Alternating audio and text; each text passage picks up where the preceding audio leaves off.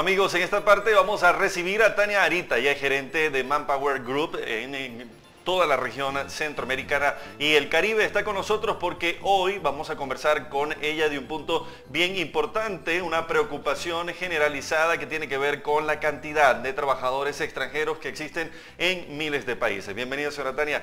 Gracias por estar con nosotros y por aceptar la invitación. No, muchas gracias. Encantada de estar con ustedes. Fíjese que importante conversar sobre este tema. Recientemente eh, está ya la celebración de lo que sería el Día Internacional de la Trata de Personas y los trabajadores o los migrantes llegan a muchos países y tienen que en principio buscar trabajo para tener una mejor vida. ¿Cómo ven ustedes eso? ¿Cuál ha sido el impacto?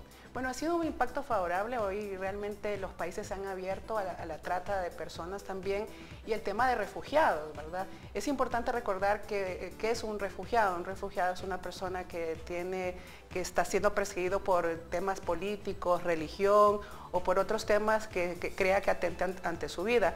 Hemos tenido hoy, y Costa Rica es uno de los países pioneros donde hemos incursionado ya políticas para poder tratar este, el tema de refugiados y poderlos ayudar a insertarse laboralmente. En Manpower Group nosotros también estamos apoyando estos temas en nuestros programas de sustentabilidad, donde es importante integrar también a este grupo que, está, que en algún momento sufrió discriminación, que tiene las competencias necesarias y que puede también ayudar a un país a ser más productivo.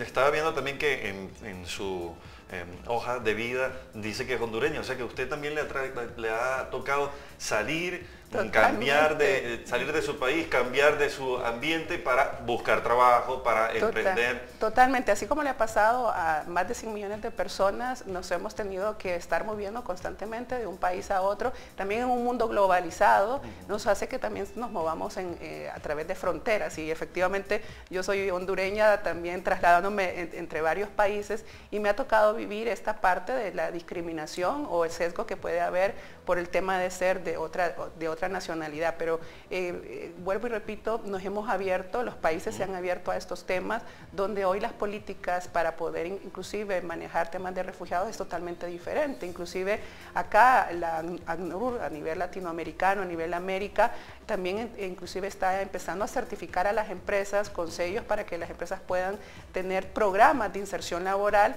para el tema precisamente de, refugiados. Nosotros hoy también estamos dando una serie de recomendaciones. Si tú eres una persona... Sí, eso es lo que le iba a preguntar, ¿no? Porque le confieso que también sé que es muy difícil encontrar trabajo fuera de, su país. Entonces, ¿cuáles serían esas estrategias que podría utilizar un eh, em, migrante, un refugiado para poderse insertar en el mercado laboral? Bueno, nosotros en Manpower vas a encontrar varias estrategias que nosotros estamos dando a las personas en carácter de refugiados. Lo primero que tienes que hacer es eh, tomar el carácter de refugiado, si ese es el caso, porque hay países como en Costa Rica que tienen políticas eh, donde si tú ya tienes el carácter de refugiado, tu inserción laboral va a ser todavía mucho más fácil a que si tú vienes como una persona migrante a conseguir todos tus permisos de, trabajo. Y recordemos que como pasa en todos los países, hay políticas también para la contratación de migrantes. Entonces lo primero eh, que, se tiene que hacer es ver en qué condición estás como migrante o como refugiado, que cumplas todas esas condiciones y que también te, prepares, ¿verdad? Con toda la información, este, con toda la información de tu currículo, de toda la información de, eh, de documentación que te van a solicitar para poderte insertar y, por supuesto también que te prepares con las habilidades que están demandando en ese país y que son necesarias para que te puedas insertar laboralmente y al mismo tiempo puedas preparar tu currículo de forma exitosa para poder participar en los diferentes procesos. Hoy también las compañías tienen muchos programas o políticas de, contratación para refugiados que también tú puedes someterte a ello y con ello poder participar a los diferentes procesos que, están activos. Y también desde tu país, si estás en otro país, hoy también el acceso a la tecnología nos, nos permite que tú puedas compartir tu hoja de vida con muchas empresas a nivel internacional y que puedas participar entonces en varios procesos. O sea que hoy tenemos las fronteras abiertas, tenemos a nuestro favor la tecnología, lo cual hace más fácil también que nosotros podamos entonces participar en procesos e insertarnos laboralmente. ¿Y usted cree que, eh, bueno, a la hora de, preparar el currículo, de hacer todos los trámites, una de, las preocupaciones principales es que se enfrentan a un país con documentos distintos, con requisitos distintos. La persona también tiene que eh, prepararse todo eso preparar todo eso para poder llegar más, con más facilidad.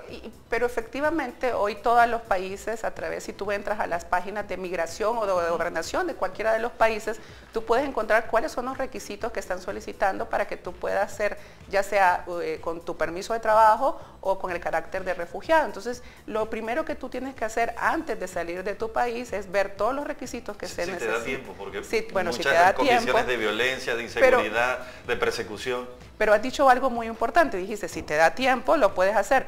Pero estamos viviendo en un mundo también convulsionado, donde hemos, tenemos que salir muchas veces rápido.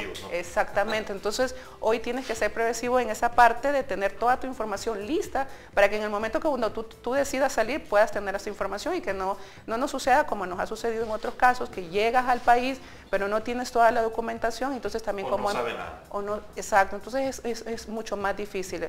Por eso nosotros también esto de prevención, que tú también tengas toda tu documentación lista. Por ejemplo, en mi caso, eh, para poder yo trabajar en otro país, en mi país es necesario que mi título sea certificado por la universidad donde yo estudié. Entonces, realmente yo no estoy sufriendo ninguna persecución, pero preventivamente yo ya fui a certificar mi título para que en cualquier momento este, yo pueda estar preparada. Entonces, esa es una de las recomendaciones que nosotros también damos, prepararse, también informarte previamente. Igual, también puedas explorar estas oportunidades desde, no porque se te presenta la situación, sino que también puedes empezar a explorar. Hoy muchas de las personas a través de LinkedIn, por ejemplo, se están comunicando con, por ejemplo, como empresas como nosotros, como Manpower, donde nos dicen, eh, ¿sabes qué? Quiero explorar qué oportunidades hay en tu país, no necesariamente porque estés sufriendo una, persecución o no tenga un trabajo, sino que quiero ver qué otras oportunidades existen y también que pueda entonces también experimentar y probar cuál, qué es lo que está en, otras partes de daños.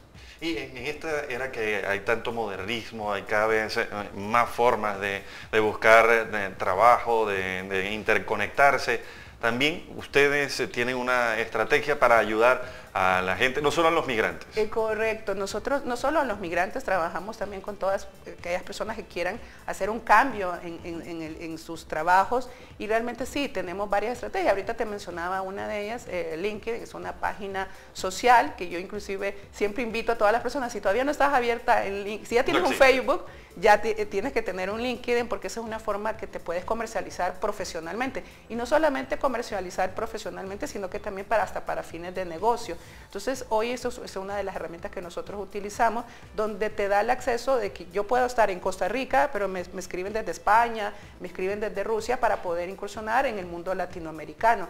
Como así también hoy eh, la tecnología nos da el acceso también a eh, entrar a las páginas web de las diferentes empresas y que tú puedas aplicar en línea. Hoy prácticamente más del 90%, de las, empresas, 90 de las empresas todo lo están haciendo a través de en línea. Y si nos vamos un poco a estadística, los reclutadores más del 85% están haciendo sus procesos de cubrimiento a través de redes sociales. O sea que es así, eh, no, es, la antigua forma de llevar el currículum. Ya no, ya eso, ya no, hoy es a través de las redes sociales. Y, si tú me preguntaras, ¿qué, ¿cuál es la red social que más usan para poder buscar trabajo? Eh, está LinkedIn, está Facebook, está Instagram y hoy increíblemente todavía Facebook sigue siendo la primera, eh, la número uno. Así que hay que estar bien conectados con las redes sociales y preocuparse, como dice usted, eh, prevenir antes de, salir. Exactamente. Y también, así como antes eh, enseñábamos cómo hacer tu currículum, hoy también hay muchos este, eh, cursos que te están enseñando cómo debes tener tu hoja de vida en una red social. ¿Qué pasos debes cumplir para una red social? Así que hay que adaptarse. Eh, correcto, así es. bueno, muchas gracias entonces a Tania Arita, ella es gerente general regional de Centroamérica y del Caribe de Manpower Group y estuvo hoy con nosotros hablando sobre estas estrategias para ayudar a los refugiados que salen de su país y tienen que buscar trabajo y cómo insertarse en el mercado laboral. Muchas gracias, señora Tania. Gracias por eh, compartir con nosotros estos minutos. Amigos, vamos a una pausa, pero en breve volvemos con más de CB24 Noticias, 24 horas conectados con la información.